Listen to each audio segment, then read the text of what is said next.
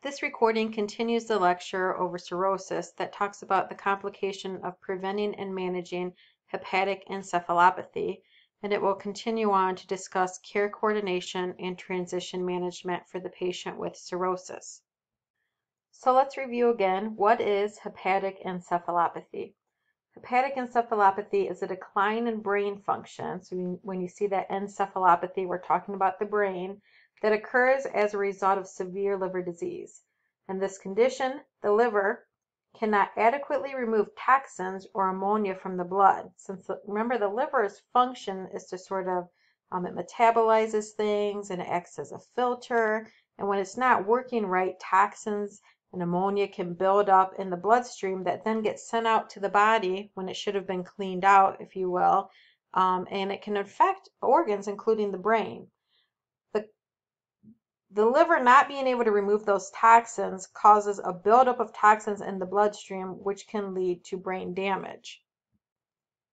So again, with hepatic encephalopathy, we're worried about toxins and ammonia building up in the bloodstream because the liver isn't functioning well and leading to brain damage. Because ammonia is formed in the GI tract by the action of bacteria on protein, non-surgical treatment measures to decrease ammonia production include dietary limitations, and drug therapy to reduce bacterial breakdown. So let's first talk about nutrition therapy for the patient um, with cirrhosis and hepatic encephalopathy. So your patient with cirrhosis who has no signs or symptoms of hepatic encephalopathy, so they have um, problems with their liver, right, but they haven't accumulated high levels of ammonia in their blood. They have no signs and symptoms of hepatic encephalopathy. So the patient just with cirrhosis, their diet recommendations are high carb, moderate fat, high protein diet. When the patient then, when the cirrhosis progresses and the patient starts having elevated serum ammonia levels, as well as signs and symptoms of hepatic encephalopathy, the nutritional therapy for the patient changes. Because remember, ammonia itself is a waste product made by the body during digestion of protein. So when the liver was functioning well enough and there was no elevated ammonia, ammonia in the body, the patient with cirrhosis had a high protein diet. When that cirrhosis progresses and there's elevated serum ammonia, signs and symptoms of hepatic encephalopathy, the dietary recommendation are moderate amounts of protein, oh, typo here, fat, and simple carbs. So um, again, protein breakdown is what leads to ammonia. So when the patient starts building up ammonia in their bloodstream, it makes sense that we change from a high protein diet to a moderate uh, protein diet. And we're not able to just strictly restrict proteins um, because proteins are needed for healing. So the patient does have to consume proteins and is still going to get proteins as nutrition, but we will decrease the amount if the patient is accumulating ammonia in the blood. Obviously, we'd want to collaborate with a dietitian um, regarding nutrition therapy. Uh, brief, simple directions regarding dietary do's and don'ts are recommended. We want to keep in mind any financial, cultural, or personal implications in the patient's food allergies when discussing food choices. Next, we'll move on to talk about how drugs or medications are used to manage hepatic encephalopathy.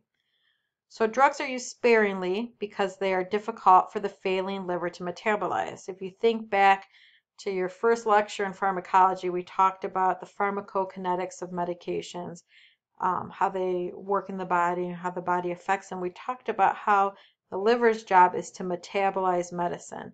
So with a patient with cirrhosis whose liver isn't functioning well, we'd be worried about giving them medications that the liver then can't metabolize, right? And then they'd start accumulating those medications um, and they could accumulate to toxic levels in the body. In particular, opioids, analgesics, sedatives, and barbiturates should be restricted, especially if the patient has a history of encephalopathy. One drug that you'll hear frequently being used to treat um, elevated ammonia levels, elevated serum ammonia levels, is lactulose. And when you think of lactulose, I want you to think of lactulose, laxative, liver, ammonia. If You can group those four things together. Um, that'll be good in terms of test taking or when it gets prescribed for a patient. So lactulose can be prescribed for a patient who's constipated because it is a laxative, but it's also prescribed for patients with those elevated ammonia levels uh, because the medication lactulose promotes the excretion of ammonia in the stool. The medication itself is a viscous or thick, sticky, sweet tasting liquid that can be given orally or by an NG tube. The purpose is to obtain a laxative effect. Cleansing the bowels may rid the intestinal tract of the toxins that contribute to the encephalopathy. It works by increasing osmotic pressure to draw fluid into the colon and prevents the absorption of ammonia in the colon. The drug may be prescribed to the patient who has manifested signs of encephalopathy. Um, so again, lactulose, think of it as a lact laxative. If the patient is having problems with their liver, the laxative will help um, rid the body of ammonia. Since laxative is since lactulose is a laxative, we want to monitor the patient may have intestinal bloating or cramping. Um, we also want to monitor for hypovolemia and dehydration as a result of excessive stools. Several non-absorbable antibiotics may be given if lactulose does not help the patient meet the desired outcome or if he or she cannot tolerate the drug.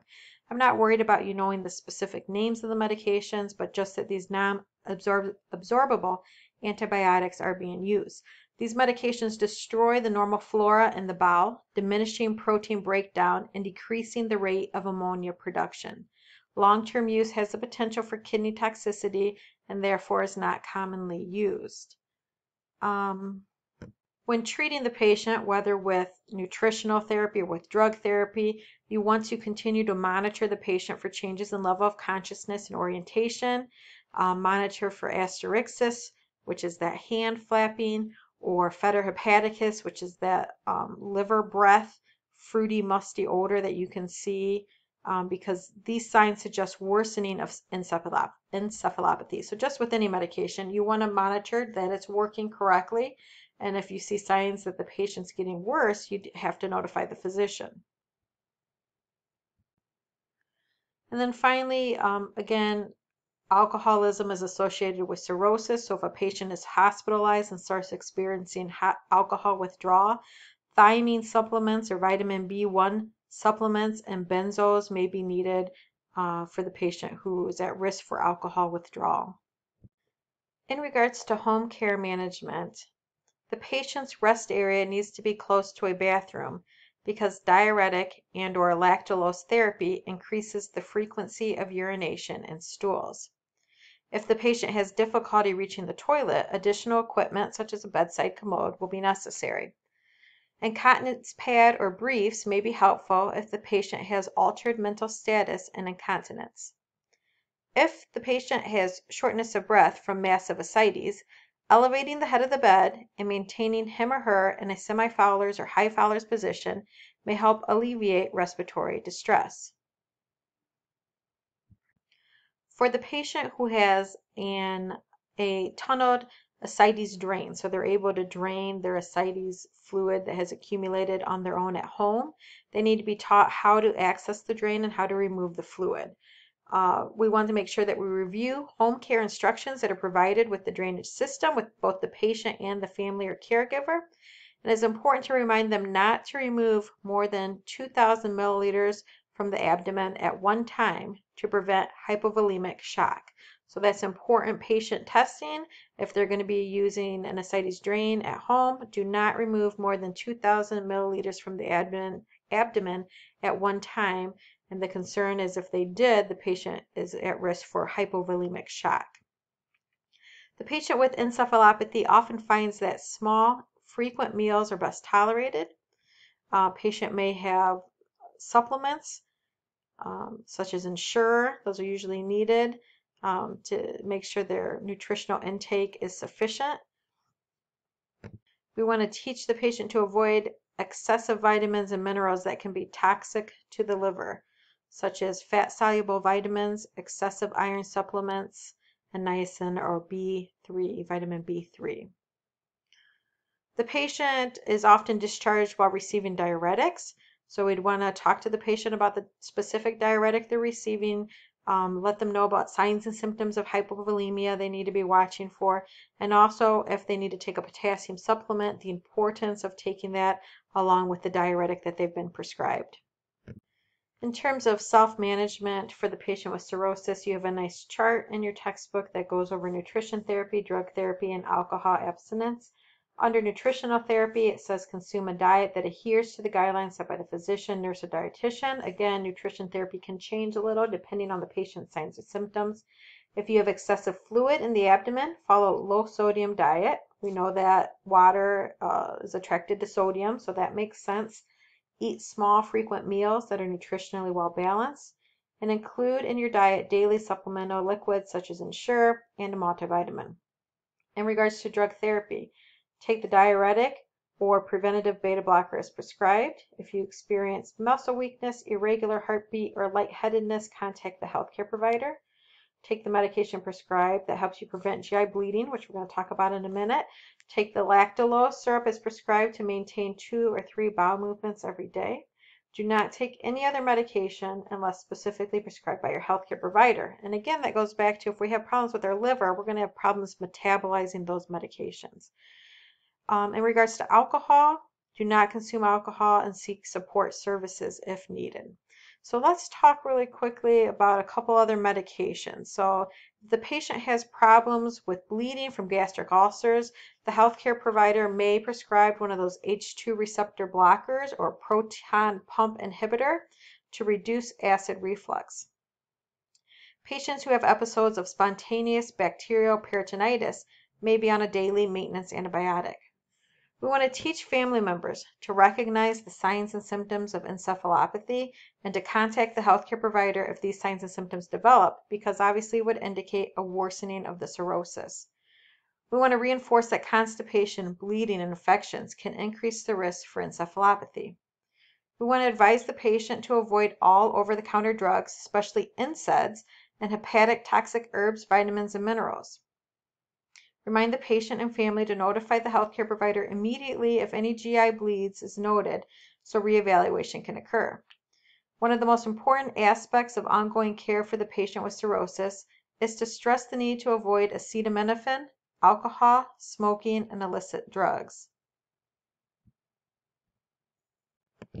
In terms of healthcare resources, the patient with chronic cirrhosis may require a home care nurse for several visits after hospital discharge. The encephalopathic patient may need to be monitored for adherence to drug therapy and alcohol abstinence. Individual and group therapy sessions may be arranged to help patients deal with alcohol abstinence if they are too ill to attend a formal treatment program. Because, because some patients may have alienated relatives over the years because of substance use, it may be necessary to help them identify a friend, neighbor, or adult in the recovery group for support.